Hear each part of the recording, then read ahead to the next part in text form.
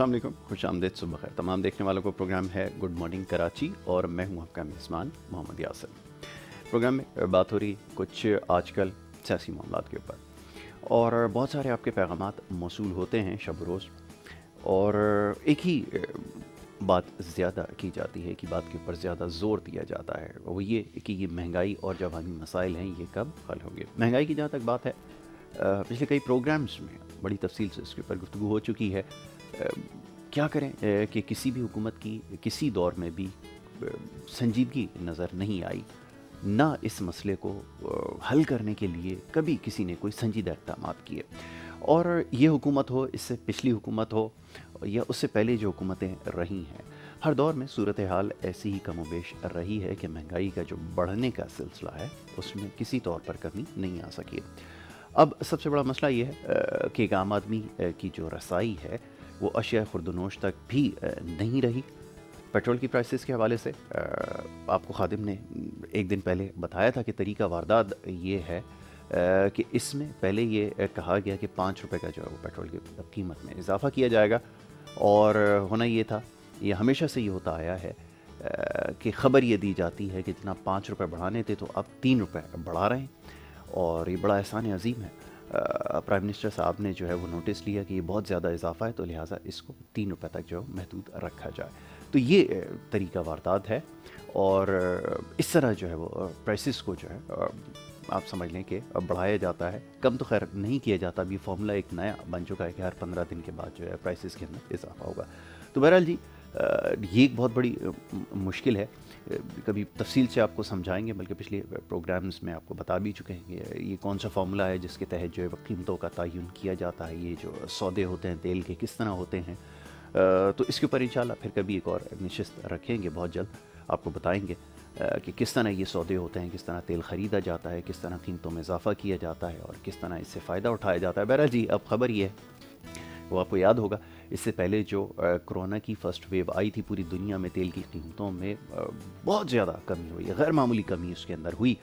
और नतीजा निकला कि पूरी दुनिया में उसकी डिमांड कम होने की वजह से बहुत ज़्यादा कीमतें गिर गई थी। लेकिन अफसोस के साथ कहना ये पड़ता है कि पाकिस्तान जैसे बदकस्मत मुल्क में पेट्रोल की जो कीमतें थी वो कम होने के बावजूद उसका जो फ़ायदा है वो आवाम तक नहीं पहुँच सका। हुकूमत ये नहीं तयन कर पाई कि किस तरह इसकी जो सप्लाई के इशूज़ थे उसको हल किया जाए। और अब कंपनीज़ के ऊपर पहले ये डाल दिया गया कि उनकी वजह से लोगों तो लोगों तक जो है वो सप्लाई नहीं पहुँच सकी और फिर अभी जो रिपोर्ट का तस्करा हो रहा है, आजकल लाहौर हाई कोर्ट का फैसला भी इसके ऊपर आ गया है कि जी रिपोर्ट जो है वो आप तक पहुंचाई जाए, बताया जाए वो कौन से लोग हैं जिनकी वजह से ऐसा हुआ कि तेल की जो कीमतें हैं आलमी मार्केट में कम होने के बावजूद जब फ़ायदा पहुँचाने की बारी आई तो हुकूमत इसमें बुरी तरह नाकाम रही। तो अब ये कल मौजू जो है वो जेर बहस रहा काबीना के अंदर भी नदीम बाबर साहब जो है वो दिफा करते रहे। बार बार ये समझाते रहे कि जी, ये बड़ा मुश्किल काम है, अगर इसका तयन वो हो ही गया है और अगर ये सामने लाने पड़े नाम तो फिर बड़ा मसला हुकूमत के लिए भी होगा और उन कंपनीज़ के लिए भी होगा। तो बहरहाल ये इतना आसान काम नहीं है, लेकिन अब ये पाबंद हैं कि इस रिपोर्ट को शाया करें और आवाम को बताएँ कि इसके जो ज़िम्मेदार थे, जो फ़ायदा आवाम को पहुँच सकता था और नहीं पहुँचा इसके ज़िम्मेदार, कौन लोग हैं? तो बहरहाल जी, बहुत सारे लोग हैं इसमें, बड़े पर्दा नशीन सबके नाम जो है वो सामने आएँगे। और आने भी चाहिए, अच्छी बात है।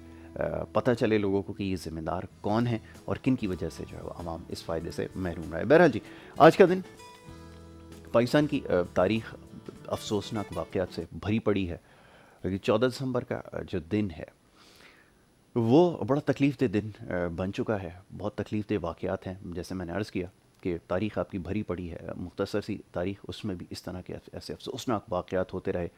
कि उनके गमों को आज तक नहीं बुलाया गया। उसमें से एक वाक़ ए पी एस का, सानिया पेशावर, जिसको कहा जाता है।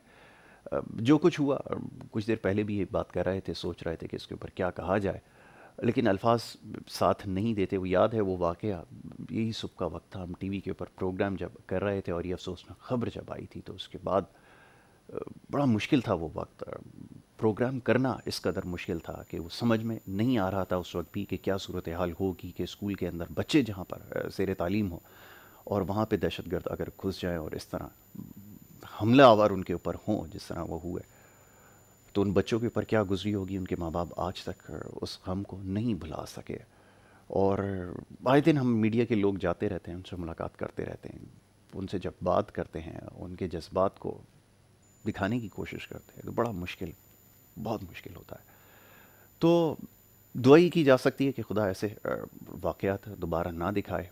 खुदा का शुक्र है कि हम नौमान की सूरत हाल में काफ़ी बेहतरी आई है, बड़ी क़ुरबानियाँ हमने दी है, इस चीज़ को नहीं भुलाना चाहिए। सियासी मामला अपनी जगहें चलते रहना चाहिए, चलते हैं, पूरी दुनिया में सियासी मामला होते हैं। लेकिन आवाम की बेहतरी के लिए काम किया जाए, मुल्क की बेहतरी के लिए काम किया जाए, इससे ज़्यादा और क्या कहा जा सकता है? इस अफसोसनाक वाक़े के ऊपर आज भी ना अल्फाज हैं, ना ज़बान साथ देती है। बहरहाल जी, कोशिश करेंगे कि इसके ऊपर आज गुफ्तू करें। आज बड़े ख़ास मेहमान स्टूडियोज़ में तशीफ़ फरमा हैं उनसे आज हम बात करेंगे कुछ सियासी मामला के ऊपर माशी मामला के ऊपर। और ये जो इस वक्त ख़ास तौर पर जो खेचा तानी सियासी जारी है, क्या नतीजा इसका निकल सकता है? इसके ऊपर बात करेंगे हमारे मौजूद मेहमान परवेज़ मद्रास वाला साहब। तजियाकार हैं। हमारे बड़े अच्छे दोस्त हैं बिज़नेस कम्युनिटी के नुमाइंदे भी हैं और इसके अलावा, पाकिस्तान के जो ताल्लुक हैं, दूसरे ममालिक से बिज़नेस के हवाले से, उसमें बड़ा आम और कलीदी किरदार आपका रहा है। तो परवेज़ भाई को मैं खुश आमद दूँगा बहुत शुक्रिया परवेज़ भाई प्रोग्राम में हमें वक्त देने के लिए। परवेज़ भाई, फरमाइए, ये पहले ज़रा पेट्रोलियम की प्राइसेस के हवाले से बात करें। अवामी मसला है। लोग देखते हैं, रोज़ाना सवाल करते हैं, ये हो क्या रहा है? इससे पहले तेल की कीमतों में कमी हुई हुकूमतों की ज़िम्मेदारी होती है कि आवाम तक रिलीफ पहुँचाया जाए। और जब वो नाकाम हो जाते हैं तो क्या वजूहत होती हैं आपके ख्याल में? अब तो लोगों काफ़ी चीज़ें समझ में आ गई हैं कि अगर चीनी मार्केट से शॉर्ट कर दी जाती है तो उसके पीछे क्या अवामिल है? वो मीडिया ने शायद इतना लोगों को बाखबर कर दिया है, आगाह कर दिया है, कि इनके पीछे माफियाज किस तरह काम करती हैं और कौन कौन लोग मुलविस होते हैं। तो शायद लोगों को सब कुछ ही अंदाज़ा हो गया है। तो अब पेट्रोलियम की बारी है। क्या नतीजा निकल सकता है? फरमाइए। यासिर बहुत शुक्रिया। तो बहुत ही अच्छा सवाल है और ये सवाल जो है ना रिलेट करता है डायरेक्टली जो महँगाई जा रही है ना yes. उससे। बिल्कुल। देखें एक तो हमें पेट्रोल जो सारा मेन जो हमारा वो है जिससे हमारी ट्रांसपोर्टेशन हम्म, चलती है हम्म। हर चीज़ उसी पे दारोमदार है। हमारी इंडस्ट्री में आपका पता है कि गैस डीजल वगैरह जो यूज़ होता है पेट्रोल ट्रांसपोर्टेशन के लिए। तो ये सारी चीज़ें जिससे महँगाई जो है ना और बढ़ती है। आपका डॉलर महँगा होता है तो महँगाई बढ़ती है। हम्म। आपका पेट्रोल महँगा होता है तो महँगाई बढ़ती है। ट्रांसपोर्टेशन की कॉस्ट बढ़ती है। हम्म। अच्छा इसको नीचे लाने का हम्म, तरीके तो बहुत हैं। अगर फ़ायदा देना चाहे चाहे। तो बहुत ज़्यादा तरीके हैं। सिंपल है। ठीक है ना कि भाई सस्ती चीज़ आती है। आप उसको कैलकुलेट करें आपकी कॉस्ट को। आपका अगर वो रिफाइंड अगर आपका ऑयल आता है तो आपकी कॉस्ट को आप मल्टीप्लाई करें और आगे दे दें। आप क्रूड ऑयल मंगाते हैं सस्ता आपने रिफाइनरी को दिया उससे रिफाइन कराया और आपने मार्केट में दे दिया। ठीक है ना? सस्ते में दे दिया सस्ता आया तो। तो ये तो हमारा हम जैसे कारोबारी जो है ना वो जब हम लोग करते हैं ना मार्केट में कोई सामान बेचते हैं या कोई चीज़ मंगाते हैं तो हम कहते हैं यार चलो ठीक है सस्ता है हम्म। अब सस्ता दे दो ऑफ़ लोड करो दूसरा मंगाएँगे। ठीक है ना? और हम हमारा जो भी मार्जिन होता है हम्म। जो डिसेंट मार्जिन होता है वो रख लेते हैं क्योंकि काम तो करना होता है। मगर यहाँ तो इनको पता है ना कि भाई लोगों के पास आवाम के पास कोई दूसरा ऑप्शन नहीं है। नहीं है। देखें ये जो है ना कंट्रोल है रेगुलेटेड है इसके लिए कहते हैं कि भाई इस इंडस्ट्री को भी डीरेगुलेट करना चाहिए। छोड़ देना चाहिए demand and supply free flow आप अपने लाइसेंस दे दो हम्म, सबको दे हम्म। दो भाई जिसकी मर्ज़ी है जो मंगाए जिसके पास स्टोरेज हम्म। है वो मंगाए। आपने एक तो वो करके रखा हुआ है तो क्या आप इंडस्ट्री को प्रोटेक्शन दे रहे हो? आप अपने जो पेट्रोलियम कंपनी है उसको प्रोटेक्शन दे रहे हो? यार आप बताओ कि कौन सा ऐसा पेट्रोलियम है कि जो दस साल की हमने स्टोरेज करके रखता है? भाई यहाँ तो आपने हर महीने के सौदे होते हैं ठीक है ना? खासकर इस तरह इस किस्म की कम्युनिटी में। और फिर इस तरह से क्या होता है कि फ़ायदा जो होता है ना वो उनके कंपनीज़ को जाता है और आवाम जो है ना वो जैसे पहले से रोती आई है ना वो हमेशा रोती आएगी जब तक आप इसको डीरेगुलेट नहीं करेंगे। इससे इससे ही ये इस मसले का हल है और इससे ही प्राइसेस कम आएँगी कंपटीशन होगी। देखें जिसके पास जितना पावर होगा वो मंगाएगा। जिसके पास जो लाइसेंस होगा वो मंगा के अपना स्टोरेज हम्म। टैंक भी मंगाएगा और वो आपको प्रोडक्ट को देगा। जैसे आप मार्केट में आप दाल लेने चले जाओ। अगर फ़र्ज़ करो कि दाल अगर ऑस्ट्रेलिया से आ रही है हम्म, हम्म। या कनाडा से आ रही है या कुछ भी आ रहा है तो वो क्या है कि डिमांड एंड सप्लाई पे कभी प्राइस हम्म। नीचे भी जाती है कभी प्राइस अब भी जाती है इंटरनेशनल अब उन तरह की चीज़ों में क्या होता है कि हमारा डॉलर का रेट होता है ना हम्म। उससे उन वो चीज़ें महँगी और सस्ती होती हैं क्योंकि जब डॉलर महँगा होता है तो ऑब्वियसली। वो मल्टीप्लाइंग फैक्टर उस पर आता है कि डॉलर की वजह से वो चीज़ महँगी हो जाती है पेट्रोल में तो आप देखेंगे अभी कोविड की वजह से दुनिया भर में हम्म। सऊदी अरब में पेट्रोल बिल्कुल सस्ता हो गया, और अगर हम प्लानिंग करते कि भाई अगले छः महीने के स्टॉक हम लेके रख लेते हम्म। तो आज क्या होता कि चलो उस वक्त हमें रिलीफ नहीं मिलता हम्म। आज के बाद से छह महीने का जो है ना हम अगर सौदे करके रख लेते ना हम्म। तो हमें उसका फ़ायदा होता। ऐसे ही ये भी तो प्लानिंग कर सकते थे ना। हम्म। अगर ये प्लानिंग की है हम्म। तो वो दिखाएँ सबको पब्लिश करें। और ये भी पब्लिश करें कि भाई ये जो है मैकेनिज्म क्या है हमारा। देखें हमारे जो जहन में जो इस तरह की बातें आती है ना कि गवर्नमेंट हमें ये नहीं दे रही है इसकी प्राइसेस नीचे नहीं ला दे रही है तो इसका बेहतरीन हल ये है कि वो आप उसको पब्लिश करें चीज़ों को। आप ट्रांसपेरेंसी रखें लोगों को बताएँ ताकि हम भी तो किसी जगह पे बैठ के या हम आपस में बैठ के कम से कम हम्म। उसके ऊपर डिबेट तो कर सकें। या हमारे पास कोई ऐसी बात हो तो हम गवर्नमेंट तक पहुंचाएँ यहीं बैठ के पहुंचाएँ क्योंकि हमारे तो वो रास्ते तो बंद करे हुए हैं वहाँ। हम्म, हम्म। क्योंकि इस किस्म की बातें तो उनको मज़ा नहीं आता है हमारी तरफ़ से सुनने में कि भाई ये कैसी बात कर रहे हैं कि भाई हमें सिखा रहे हैं कि भाई पेट्रोल कैसे सस्ता हो जाएगा। तो हम इसी प्लेटफॉर्म पर बैठ के ना तो हम गवर्नमेंट को कुछ तो बता सकें तो हमारे को तो दिखाओ। क्योंकि मैं तो इधर मोबाइल पे देख के ना तो मुझे तो इंटरनेशनल प्राइसेस हमें पता चल जाती है और अब किसी को पता चल जाती है अब तो दुनिया जो है ना बहुत ही करीब हो चुकी है ग्लोबल हम्म। विलेज है हम्म। तो आपको हर चीज़ का पता चलता है तो अगर आप अपने कंप्यूटर पे बैठ के ठीक है? और आप वो प्राइसेस डेटा डालें हम्म। और आपका जो डॉलर रेट से डालें तो आपको पता चलेगा क्रूड आपको कितने का पड़ेगा। बिल्कुल ठीक है। आपको रिफाइंड ऑयल कितने का पड़ेगा पर बैरल और आपकी डिस्ट्रीब्यूशन कॉस्ट क्या है ऐसे और फिर आप उसको आम पब्लिक को कितने में देंगे। तो ये आप दिखाएँ सबको। हम्म, हम्म। आप पीएसओ की आप बैलेंस शीट उठा के देखें तो पीएसओ की बैलेंस शीट में इतना प्रॉफिट जा रहा है। तो भाई कहाँ से आ रहा है वो प्रॉफिट आपकी और हमारी जेबों से जो निकाल के ना तो पीएसओ की बुक में प्रॉफिट आ रहा है। बिल्कुल ऐसा ही तो इसका मतलब ये हुआ कि government is not basically serious about it कि भाई ये ट्रांसफ़र करें और उसको पब्लिक को रिलीफ देना है बिल्कुल ठीक है। और ये दुनिया में यही फिनमिना है और चाहे बिजली की तरसील का निज़ाम हो डी रेगुलेटेड हो कंपटीशन है आते हैं आप कंपनीज़ आकर काम करती हैं।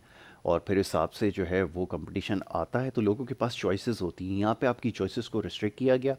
अब एलएनजी के हवाले से ख़बरें चल रही हैं, वो भी चीज़ अब मंजर आम पर आ गई है कि जो ख़रीदारी हो सकती थी टाइम पर वो नहीं की गई। डिले की वजह से आपको कॉस्ट जो है उसकी बढ़ गई है। तो ये तो मैनेजमेंट का फेलियर है गवर्नेंस का मसला है। ये तो मासी में भी मिसाल नहीं मिलती, हुकूमतों ने कभी लोगों तक फ़ायदा नहीं पहुँचाया, बुरी तरह नाकाम हुए। अच्छा परवेज़ भाई, इसके ऊपर गुफ्तु करेंगे छोटी सी ब्रेक मैंने लेनी है। एक ब्रेक लेंगे, ब्रेक के बाद हमारे एक और मेहमान यहाँ पर मौजूद होंगे, उनको भी हम खुश आमदेद कहेंगे और उनसे भी गुफ्तु जारी रहेगी। एक छोटी सी ब्रेक की तरफ़ जा रहे हैं। ब्रेक से वापस आएँगे तो सिलसिला जारी रहेगा। आप देखते रहें programme good morning Karachi.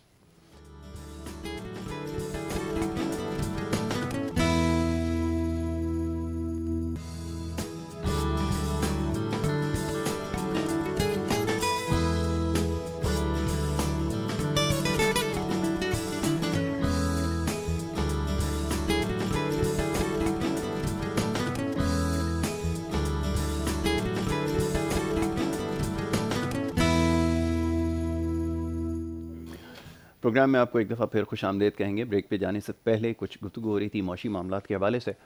और जो कुछ हो रहा है आवाम के सामने, महँगाई के हवाले से ख़ास तौर पे बात हो रही थी कैसे आवाम तक जो है वो रिलीफ पहुँचाया जाएगा। और कुछ देर पहले डॉलर का तस्करा हुआ। और डॉलर के हवाले से अगर बात करनी हो तो हमारे पास हमारी खुशकस्मती है कि हमारे साथ यहाँ पर मलिक बोस्तान साहब मौजूद हैं। डॉलर के हवाले से तो मलिक साहब अपना वो एक रखते हैं। चेयरमैन एक्सचेंज कमीशन पाकिस्तान के। और उन्हें मैं खुश आमदेद कहूँगा गुफ्तु में। बहुत शुक्रिया मलिक साहब प्रोग्राम में हमें वक्त देने के लिए। मलिक साहब डॉलर की बात हो रही थी। अब ये प्राइस पैरिटी जो है ये लोगों के लिए समझना जो है वो इस वक्त बड़ा मुश्किल हो रहा है। वो जो आपकी इकनॉमिक जो कंडीशन है अब रो, रोज़ाना की बुनियाद पर टीवी पे देख रहे होते हैं। इकनॉमिक इंडिकेटर्स और फिंगर टिप्स के ऊपर आ गए हैं उनके। अब वो देखते हैं कि जनाब ये तो बड़ा मुश्किल है इनकी डेट मैनेजमेंट इनसे हो नहीं रही है। और इनके जो कैश फ्लोज हैं वो ठीक नहीं है।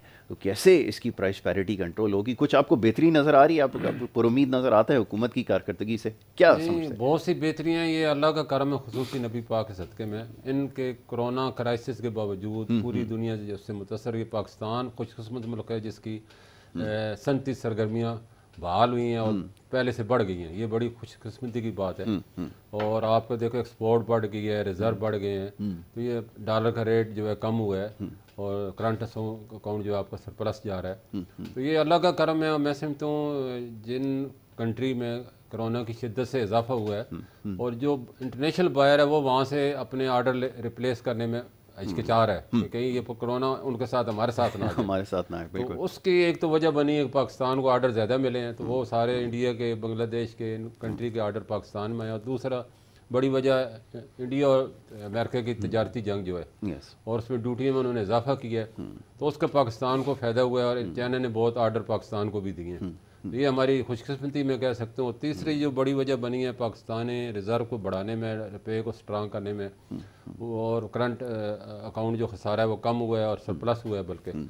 और वो उसकी बुनियादी वजह रोशन डिजिटल पाकिस्तान है, जिसने पाकिस्तान की इकानमी को भी रोशन कर दिया है। तो मैं पिछले जब प्रोग्राम में आया था, आपको बताया था कि अल्लाह का शुक्र है ग्यारह दिसंबर को जो है तकरीबन एक सौ बारह एक करोड़ बारह लाख डॉलर एक दिन में आए ये बहुत बड़ा अमाउंट है वरना दो से तीन मिलियन डॉलर सिर्फ़ आ रहे हैं बीस से तीस लाख आ रहे थे। बिल्कुल बिल्कुल। तो ये ऐसे हमारा टारगेट था कि ये रोशन डिजिटल जो है बारह से चौदह अरब डॉलर पाकिस्तान में आएँगे। हम्म। तो अब उम्मीद हो चली है कि इतना बड़ा अमाउंट एक दिन में अगर आ सकता है तो सालाना आउटफ्लो के ऊपर कोई बंद बांधा है कोई कंट्रोल हुआ है?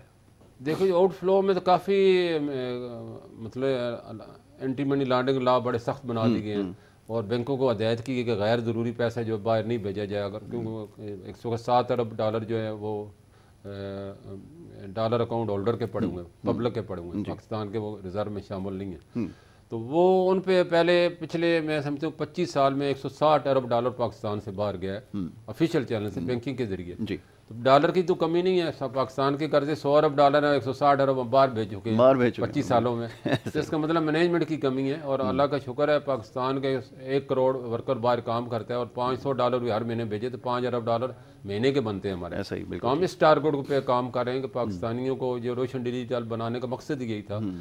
कि लोगों को जो ओवरसीज पाकिस्तानी उनके दरीना मुतालबा था कि हम पाकिस्तान में जब अकाउंट खोलने जाते हैं तो बड़े प्रोसेस से गुजरना पड़ता है और वो अकाउंट नहीं खुलता हमारा। हम्म, हम्म। तो हुकूमत ने ये बड़ा अच्छा फैसला किया स्टेट बैंक ने कि अब ऑनलाइन अकाउंट उनका डिजिटल खुल जाएगा। हम्म। तो डिजिटल की ये पहली कामयाबी है पाकिस्तान के लिए जो पाकिस्तान की छपका साबित हुआ और आज अल्लाह का शुक्र है तो हमारी उम्मीदें उन पर जो है पूरी होती नज़र आ रही हैं। पाकिस्तान की इकानमी पाकिस्तान का रुपया और पाकिस्तान को आने वाले वक्त में जिस तरह पाकिस्तानी पाकिस्तान में इन्वेस्टमेंट कर रहे हैं हम्म। और पाकिस्तान में अपना पैसा लेके आ रहे हैं हम्म। और ये अभी ट्रायल बेस पे हो रहा है ये भी मैं आपको बता रहा हूँ। क्योंकि अभी लोगों को खौफ है कि बड़ा अमाउंट कोई भी नहीं भेज रहा। हम्म, कोई एक मिलियन भेज रहा है कोई दो मिलियन भेज रहा है दो इससे ज़्यादा कोई नहीं भेज रहा कि कहीं जिन कंट्री में इनका पैसा है उनकी कंप्लाइंस की वजह से रुक ना जाए। हाँ, ये भी तो लोग टेस्टिंग अभी ला रहे हैं और अकाउंट भी बहुत कम खुले हैं। एक परसेंट भी आप नहीं कह सकते।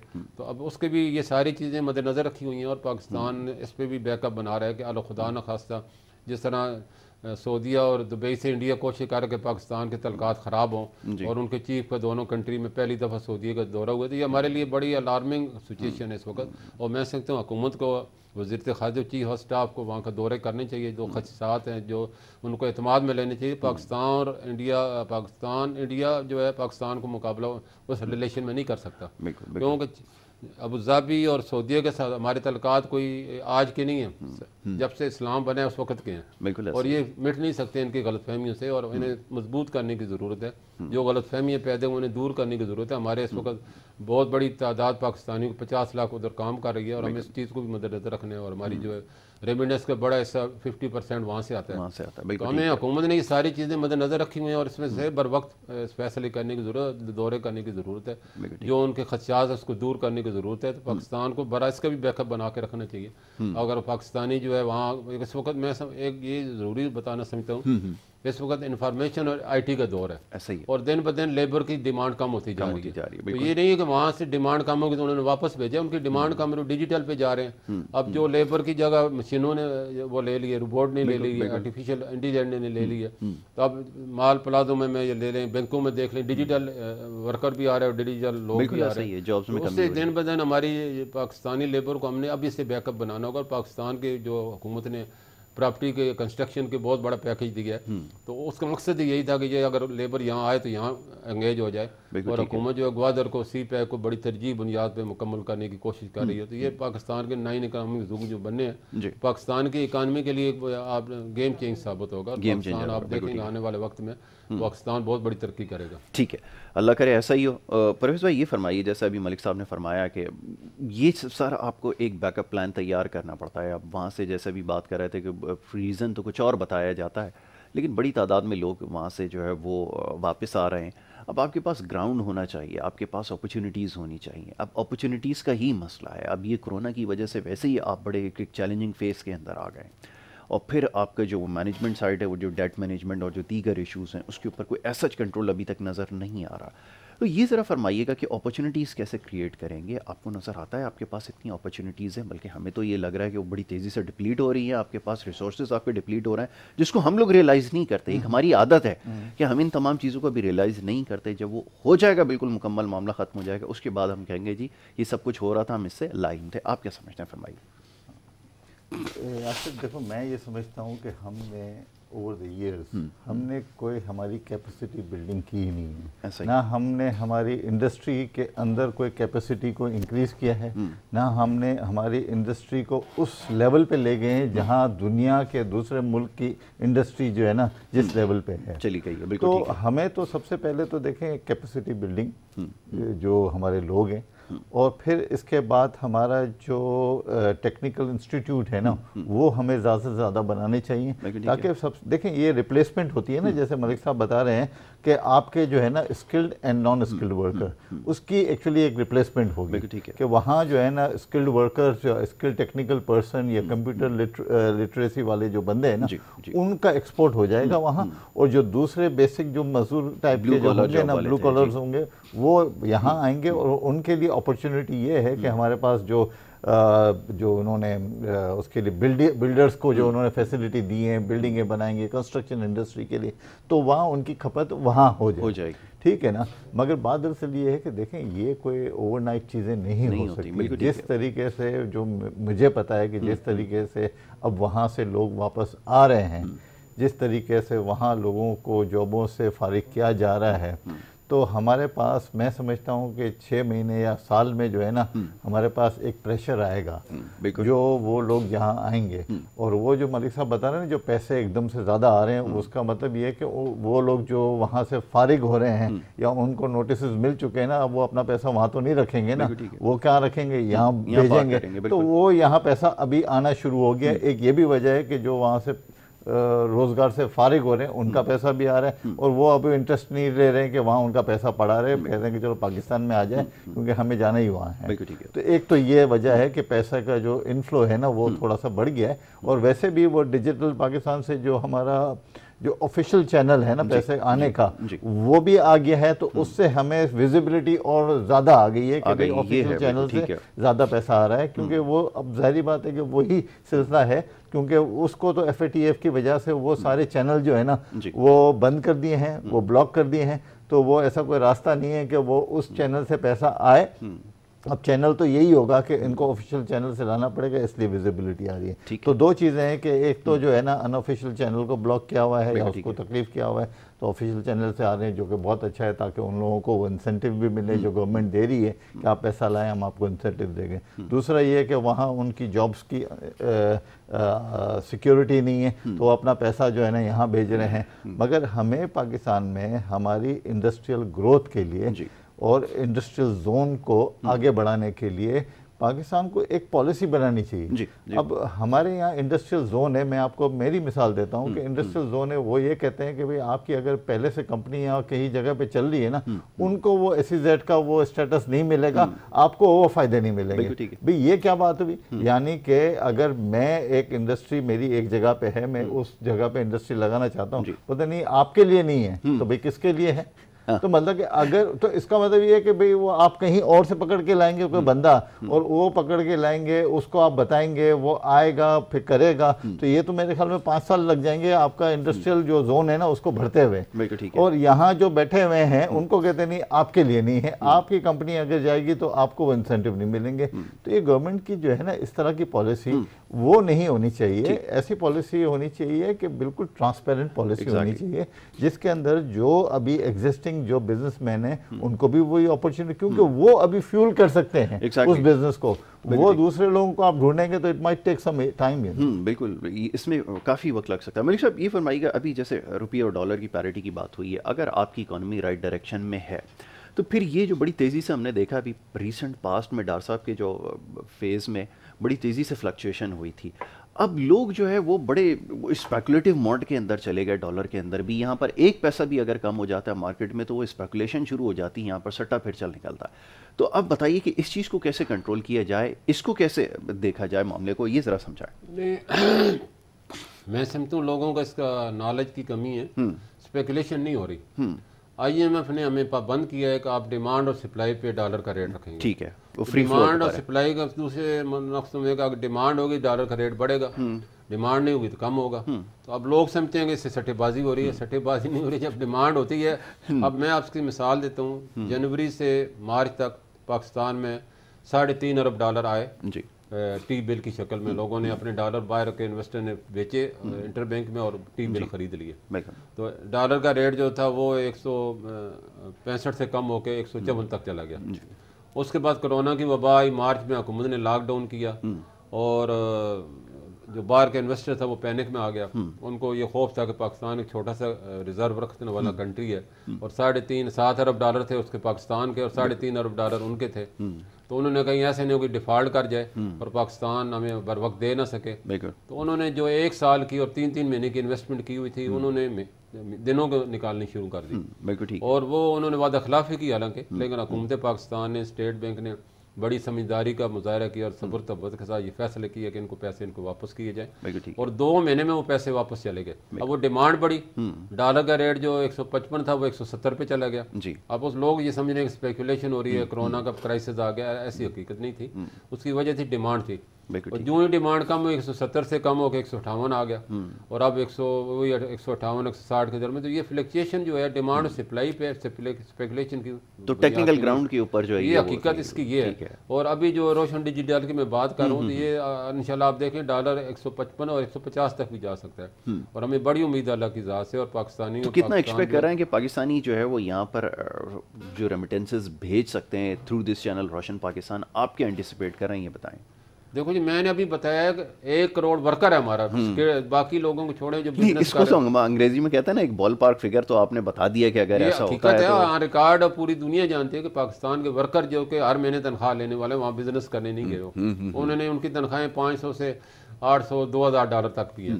तो एवरेज अगर आप तीन सौ भी कर लें तो तीन अरब डॉलर महीने के बनते हैं। तो छत्तीस अरब डॉलर बन जाते हैं पाकिस्तान को।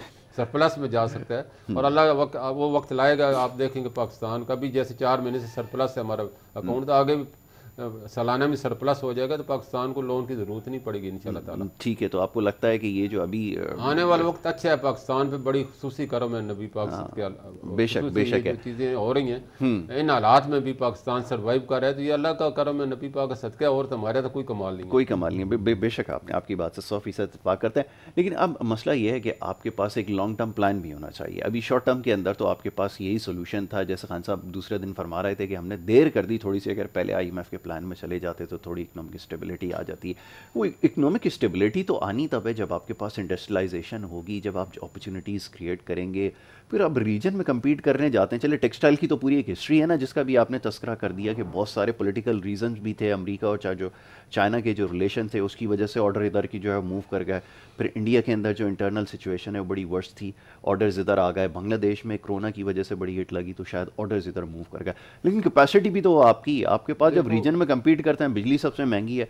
वो कपड़े वाले जो एक उनकी जो कॉस्ट आनी थी जो रीजन से कम्पीट करते हैं जब दस रुपये कॉस्ट आती है आपके पास तो एक सौ बीस रुपये आती है। कैसे कम्पीट करेंगे? ये तो बताएँ। आपने बिल्कुल सही फरमाया कि अगर रीजन को हम देखें हम्म। तो रीजन में हमने अभी मुकाबला शुरू कर दिया। हम्म, हम्म। हुकूमत ने जो यूटिलिटीज 50 परसेंट डिस्काउंट दिया है उसकी पहली तो शरत यही थी कि इनको मुकाबले की सख्त पैदा की जाए। तैयार किया जाए तैयार किया जाए। और आ, आज अल्लाह का शुक्र है बीस साल बाद पाकिस्तान की इंडस्ट्री की जो शिफ्ट है वो तीन टाइम चल रही हैं। सुबह दोपहर शाम हाँ, ये हुआ है कि पहली बड़े अरसे के बाद ऐसा हुआ है हाँ। तो इससे भी पाकिस्तान की जो है आर्डर इतने ज़्यादा हैं कि तीन महीने तक एक्सपोर्टर कहते हैं हम आर्डर बुक करने की पोजीशन में नहीं है। होम गारमेंट का टेक्सटाइल का बहुत बड़े आर्डर आ रहे हैं लेदर के बहुत बड़े गुड्स के आ रहे हैं। तो पाकिस्तान में कैपेसिटी तो है अल्लाह ने पाकिस्तान को हर लिहाज से दुनिया के टॉप टेन कंट्री में शामिल किया हो। किसी तरह भी आप ले लें मैशत में ले लें फौज में ले लें एग्रीकल्चर में ले लें इंडस्ट्री में ले लें। ऐसी इतनी बुरी नहीं है पाकिस्तान की जितनी हम मीडिया में बनाते हैं। ऐसा नहीं है ऐसा नहीं है। कई कंट्री से हम कई गुना अच्छे हैं। और हमारी बदकस्मती है कि हमारा दुश्मन बड़ा यार भी है चलाक भी है और कमीना भी है। हाँ, तो वो इंडिया जो है हमारी मैशत को ऊपर भी दो लगा रहा है हमारे टेररिस्ट का फंडिंग कर रहा है लोगों को दहशत गर्दी पे उकसा के देखो रोज कोई ना कोई धमाका हो जाता है हम्म, हम्म। तो उसके पीछे सरेआम वो लोग कह रहे हैं कि हम पाकिस्तान में के अंदर जाके घुस के मारने का उसको घुस के मारने का उनका मतलब है कि हम्म। इनके लोगों को तैयार करेंगे वो तकरीबकारी करेंगे इनकी मैशत तबाह होगी हम्म। और उसके सामने अभी जो उन्होंने अपनी जेली वेबसाइट बनाई हुई थी जो वो बड़ा जी जी मतलब खबरें वो झूठी लगाते थे ह्यूमन राइट का जो बानी था हम्म, उसके नाम पे वो उसको मरे हुए पंद्रह साल हो गए। हाँ। और उसके आर्टिकल बनाते रहे ये तो यूरोपियन कंट्री ने और हम्म। अमेरिका ने उनको नंगा की गया वरना तो वो तो मानने को तैयार ही नहीं तैयार ही नहीं थे और अभी भी इतने डीट हैं कभी भी कहते हैं हमने नहीं किया तो उन्होंने वेबसाइट तो आपकी है सरकारी है। तो दूसरे किस्म आके फरिश्तों ने इसके अंदर डाल दिया मजमून सारे। तो ये सारे पाकिस्तान अब दुनिया की आँखें खुल गई पाकिस्तान को जो बदनाम करने में सारे का सारा रोल जो है इंडिया का है। हम्म। और हुकूमत पाकिस्तान ने मदद में उनके खिलाफ डोजेस जमा करा दिए हैं और पूरा एविडेंस दिया है। और मैं समझता हूँ हुकूमत को फिटफ में इसको ब्लैक लिस्ट करने के लिए मेहनत करनी चाहिए। इस तरह उन्होंने पाकिस्तान को ग्रे लिस्ट में निकालने के लिए रोज़ ना कोई ना कोई हरबे करना तो पाकिस्तान को इस पर पूरे भरपूर तरीके से सफारती सतह पे इंटरनेशनल सतह पे तमाम फॉर्म पे इंडिया के खिलाफ जाना चाहिए और उसके बताना चाहिए कि पूरे खत्े के नहीं पूरी दुनिया के लिए अमन के लिए खतरा है और ये बड़ा यार है कमीन है और पूरी दुनिया का जो, अमन है खतरे में डाल देगा। बिल्कुल तो मैं समझता हूँ हुकूमत जो है इसके पे शुरू तो हुई है लेकिन उतनी तेज़ी से नहीं हुई जिस तरह होना चाहिए जिस तरह होना चाहिए। बिल्कुल हमने वो तेज़ी नहीं दिखाई। हमने तेज़ी नहीं दिखाई है जी ये बड़ा मसला है जी। इसके ऊपर गुफ्तु करते हैं छोटी सी ब्रेक लेते हैं। ब्रेक के बाद वापस आएँगे गुफ्तु जारी रखेंगे आप देखते रहें। Good morning Karachi.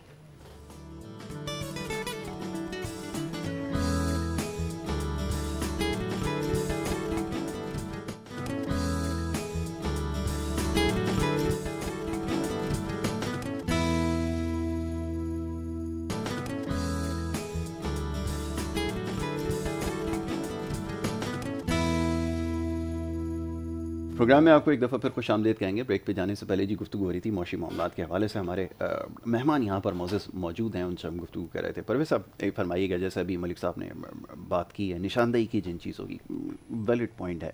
लेकिन अब आपको हमेशा मैं ये बात कहता आया हूँ कि आपको फ़ायदा उठाना है आपको अपॉर्चुनिटी अगर ऊपर वाले ने दी है उससे आपने फ़ायदा उठाना है। आपने एक, एक इनिशिएटिव लिया कि आपने एनर्जी की जो प्राइसेस हैं कॉस्ट है, उसमें थोड़ी सी कमी की, आपने छोटा सा रिलीफ दिया तो अभी आप देखें कि इंडस्ट्री आपकी एक्टिव हो गई। आपको एक्स्ट्रॉडनरी मेजर्स की ज़रूरत है लेने की। अगर आप वो नहीं लेंगे तो फिर आप बड़ा मुश्किल हो जाएगा, क्योंकि यहाँ कंपटीशन बड़ा टफ है। तो आपके पास डोंट यू थिंक कि इस वक्त राइट टाइम है और अपॉर्चुनिटी है, इसको अवेल कर लें। अगर पॉलिसी सही और डायरेक्शन सही हो यू थिंक देखें, यासिर, यहाँ हमारे पास अपॉर्चुनिटी पाकिस्तान में, अल्हम्दुलिल्लाह काफ़ी हैं। ठीक है। और हमारा एक तो ह्यूमन जो हमारा कैपिटल है हम्म, ना हम्म। वो बहुत ही अच्छी चीज़ है कि हमारे पास इतने जो एक 40 से नीचे के जो हम्म, हमारे पास जो पॉपुलेशन है ना वो काफ़ी है। जो एक तरह से हमारा जो है ना ह्यूमन फ्यूल है जो हमारी इंडस्ट्री को फ्यूल कर सकता है जो हमारी इकोनॉमी को आगे बढ़ा सकता है। पहले भी मैंने बोला कि ये आपका ह्यूमन ह्यूमन जो कैपिटल है ना हम्म, हम्म। इसको आपको ट्रेन करना है। Yes. उनको आपको अपॉर्चुनिटी देनी है। हम्म। देखिए जो लोग होंगे ना उनको अगर आप रोज़गार नहीं मिलेगा ना तो वो ट्रेन कैसे होंगे? Yes. वो घर पे बैठ के टीवी देख के तो ट्रेन नहीं हो सकते ना। उनको तो प्रैक्टिकल फ़ील्ड में जाना है। तो हमारी मुल्क में ये है कि अभी हमने वो चीज़ें अचीव नहीं की हैं और हमारे पास प्रैक्टिकल फ़ील्ड में जाने के एवेन्यूज़ इतने नहीं नहीं है। Yes, yes. देखें मैं अभी आपको बता रहा था जब आपका ब्रेक में था कि मैं बता रहा था कि कब तक हम ये कहते रहेंगे कि भाई हमारा बाहर से पैसा आए बाहर से वर्कर हमें यहाँ पैसा देता रहे और हम अपना जो है ना वो एडजस्टमेंट करते रहे हमारे उसको और हमारी इकोनॉमी को और उसको आगे बढ़ाते रहे। हम्म। हमें हमारा एक्सपोर्ट बढ़ाना है हम्म, हम्म। हमें इंडस्ट्रियलाइजेशन करनी है। उन चीज़ों के लिए हमें सस्ती बिजली चाहिए हमें सस्ता फ्यूल चाहिए हमें डॉलर जो है ना हम्म। उसको हमें एक तरीके से हमें एक उसको सीधा करना पड़ेगा। उसमें करना पड़ेगा कि भाई हमारे देखें क्योंकि हमारे पास रॉ मटेरियल नहीं है। रॉ मटेरियल लाने के लिए हमें डॉलर को यूज़ करना पड़ता है। हम्म। अगर जब तक डॉलर सेटल नहीं होता है और डॉलर में इतनी ज़्यादा फ्लक्चुएशन रहती है नो मैटर वाट ठीक है। ना उससे क्या होता है कि आपकी प्लानिंग नहीं रहती है। हम्म। क्योंकि आपका रॉ मटेरियल जब आता है तो एक डॉलर की प्राइस होती है आपने माल बेच दिया है एक्स डॉलर में हम्म। तो आप किस तरीके से उसको बैलेंस करेंगे? ठीक है मलिक साहब ने बताया कि भाई ये चीज़ें हुई हैं और इस तरह से डॉलर इतना ज़्यादा फ्लक्चुएट कर रहा है, इसमें कोई ऐसी बात नहीं है। ठीक है। मगर इंडस्ट्रियलिस्ट जो होता है ना वो तो एंड ऑफ़ द डे मारा जाता है ना क्योंकि उसकी तो कैलकुलेशन आउट हो हम्म, जाती है। हम्म, यहाँ आपका डॉलर अगर एक परसेंट दो परसेंट ऊपर नीचे होता है या हम्म। एक रुपया दो रुपया होता है इंडस्ट्रियलिस्ट के लिए तो वो मामला बहुत ख़राब हो जाता है। उसकी तो इनपुट कॉस्ट बढ़ जाती है।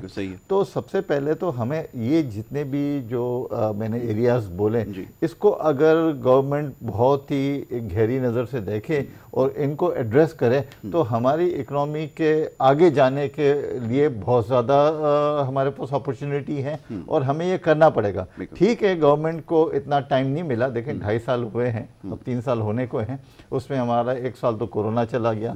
फिर गवर्नमेंट पिछले जो शुरू के छः सात महीने तो वो अपना वो सारी चीज़ों को देखती रही और उसको कंट्रोल करती रही। तो अभी ये है कि मैं समझता हूँ कि भाई अगर ये गवर्नमेंट अगर रहती है और उसके पाँच साल पूरे करती है हम्म। तो मैं समझता हूँ कि ग्राउंड वर्क इतना अच्छा हो जाएगा हम्म। क्योंकि देखिए कोई भी गवर्नमेंट आती है ना उसको टाइम हम्म। देना पड़ता है ठीक है और जो पहले हमारे हालात चल रहे थे ना देखें हम तो अभी इनको कह रहे हैं ना कि भाई आपने ये नहीं किया आपने ये नहीं किया आपने क्यों नहीं क्या रहे है ये पेट्रोल की प्राइसेस क्यों बिजली हम पिछली गवर्नमेंट को तो हम लोग कुछ कह ही नहीं रहे ना कि भाई अगर उन्होंने ये चीज़ें नहीं की हैं हम्म। जो पिछले तीस सालों चालीस साल पचास साल में हम्म। अगर ये चीज़ें वो करते हैं हम्म। तो आज हम इस नहज पे ना होते और आज हम ये बात नहीं कर रहे हम बहुत ज़्यादा प्रोग्रेसिव बातें कर रहे होते हम हर वक्त आपके प्रोग्राम में यही बात कर रहे हैं कि यार हमारा होगा क्या इस मुल्क का ना तो इस मुल्क का होगा ये कि भाई इसको चलने दो हम्म। इसको देखो कि भाई ये क्या करके जाते हैं। हम्म। कम से कम एक ग्राउंड वर्क तो कंप्लीट करके दें हमें ताकि हम आगे हमारी इकोनॉमी को रास्ते में डाल दें। बिल्कुल ठीक है। मलिक साहब ये फरमाइए डॉक्टर साहब ने एक टोटका किया था। उन्होंने प्राइसेस को कंट्रोल करने की कोशिश की थी वो जो पैरिटी थी उसको समाव मैनेज कर लिया था। अगले दिन वो शेख रशीद साहब हुआ करते थे उस ज़माने में उनसे शर्त भी लगा बैठे थे कि भाई ये डॉलर को जो सौ के नीचे ले आऊँगा। वो थोड़ी सी आपकी जो परचेजिंग पार थी वो थोड़ी सी बहाल हो गई थी। लोगों ने कहा जो टाइम आ गया ख़रीदारी का। वो बड़ी लोगों ने वो हिम्मत पकड़ी थी। लेकिन अब क्या ऐसा नहीं हो सकता जैसा भी बात हो रही थी मैं देख रहा था कुछ बायर्स ऐसे तो वो कहने लगे यार अब तो प्राइस रेंज इतनी बढ़ गई है कि हमारे लिए बड़ा मुश्किल होता है रॉ मटेरियल ख़रीदना और कुछ चीज़ें क्योंकि डॉलर के अंदर पेमेंट है तो बड़ा मुश्किल हो रहा है। क्या ये तजर्बा हो सकता है इस वक्त? नहीं ये तजर्बे की ज़रूरत नहीं है। अच्छा। वैसे हमारे अल्लाह मैंने कहा ना कि हमारे पास जो इंक्रीजिंग बढ़ रही है और हम्म, हम्म।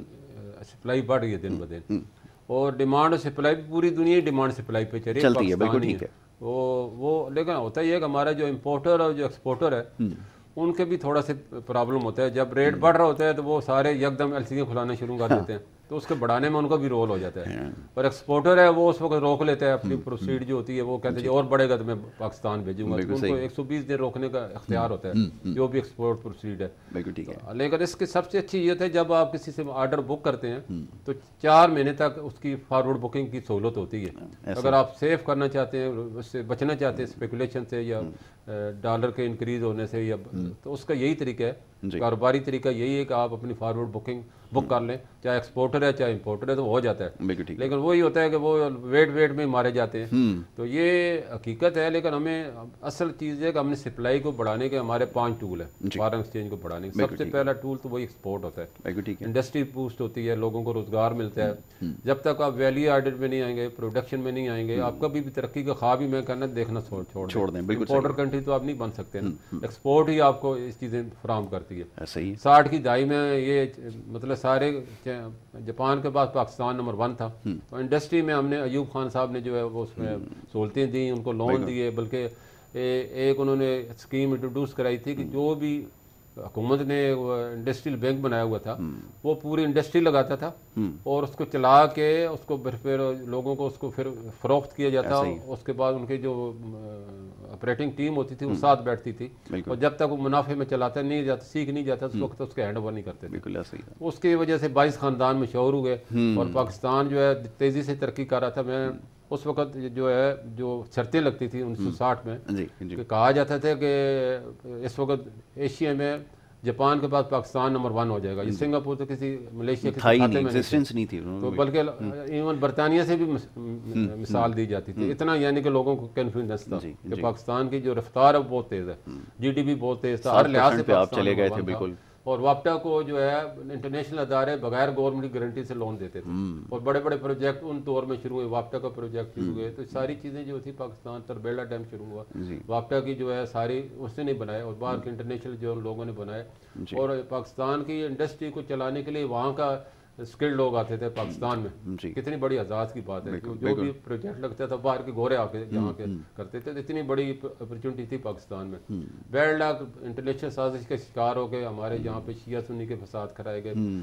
कौमी जो वादत थी उसको तोड़ा गया। तो सारे इंडिया का रोल है इसमें। तो हमें इसको पहचानना है और अपनी फौज का साथ देना है। और उसकी पूरी कोशिश है कि पाकिस्तान की जो अवाम है फौज के खिलाफ खड़ी हो जाए।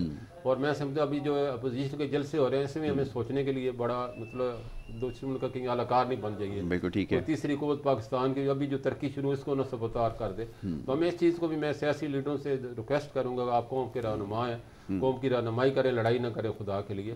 कौम को इस हिसाब से निकाले पाकिस्तान जो है पाँच साल एक दूसरे को बर्दाश्त करे हम्म। और पाँच साल अभी जो मर्ज़ी है करे इस तरह करके उससे जो है अभी जो हमारे डायरेक्ट इन्वेस्टमेंट आ रही थी वो रुक गई दोबारा। हम्म, कि पोजीशन ये कह रहे हम लॉन्ग मार्च करेंगे उससे जो है हाँ। पाकिस्तान की मैशत पे बुरा असर पड़ेगा। सही और मैं समझता हूँ अगर बिल बैठ के मसले को हल हुकूमत को भी चाहिए हुकूमत की ज़्यादा ज़िम्मेदारी होती है कि वो उनके साथ जो भी उनके मुतालबे उनको बैठ के हल करे पार्लियामेंट के अंदर करे तो इससे बड़ा अच्छा मैच जाएगा और जिम्मेदार एक रहनुमा के तौर पर पाकिस्तानी सियासी जमातें उभरेंगी। हम्म। ये जिम्मेदार कंट्री और जिम्मेदार क्यादत है और हम्म। पाकिस्तान को इन फ्यूचर इसका मुस्तबिल तभी रोशन है कि हम हम्म। बर्दाश्त करना सीख जाए। बहुत बड़ी बात है बिल्कुल ऐसा ये आपने बिल्कुल वजह फरमाया कि बर्दाश्त का मादा पैदा करना पड़ेगा।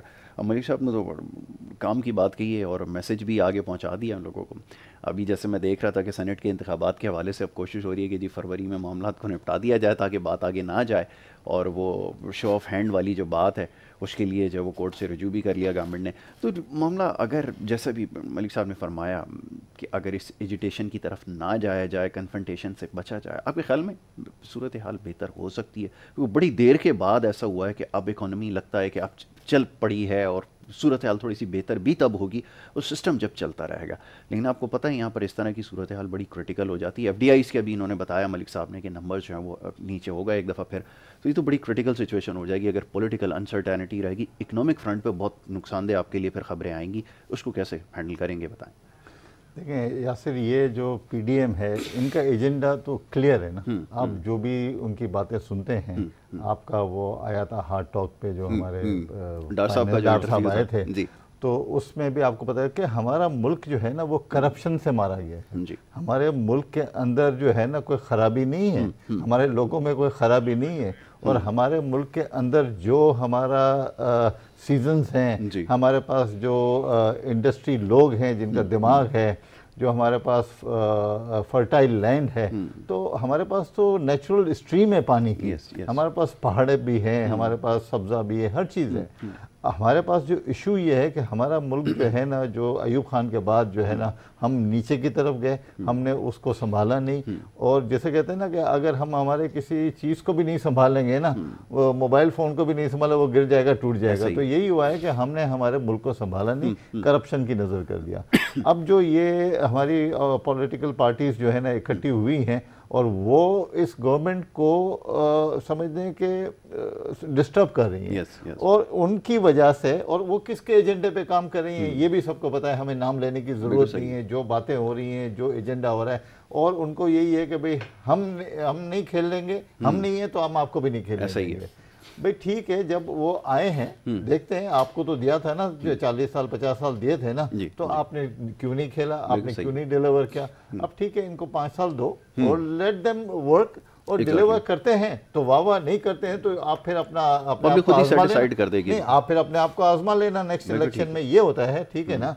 अब हमारे पास अभी ये जो आ रहा है मैं तो समझता हूँ कि फरवरी में हो जाए ना सेनेट का इलेक्शन तो दूध का दूध और पानी का पानी हो जाएगा, हो जाएगा और सब चीज़ें नज़र आ जाएँगी हम्म। कि भाई उनके अंदर कितना पावर है हम्म। और ये जो गवर्नमेंट है हम्म। इसने किस तरीके से चीज़ों को उन्होंने मैनेज किया है और आगे जाके क्या रिज़ल्ट आएगा ठीक है। परवेज़ भाई thank you so very much बहुत शुक्रिया आपका परवेज़ मद्रास वाला हमारे साथ यहाँ पे मौजूद थे। मलिक बोस्तान साहब, बहुत शुक्रिया मलिक साहब ने हमें वक्त दिया, सुबह के वक्त प्रोग्राम में शरीक हुए और हमसे गुफ्तु की और कुछ अच्छी चीज़ों की निशानदही, जैसे गुजशत रोज़ मैंने कहा था कि जो अच्छी चीज़ है उसको हाईलाइट किया जाना ज़रूरी है, आप तक पहुंचाना ज़रूरी है।